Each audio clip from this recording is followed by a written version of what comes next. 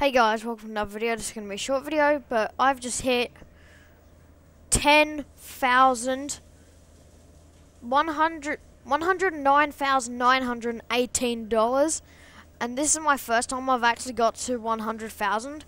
I've been lingering around ninety four thousand dollars, and I've just been buying cars from this auction center, and getting rid of everything inside the car and taking the bodywork off and fixing it up to make it look like new again.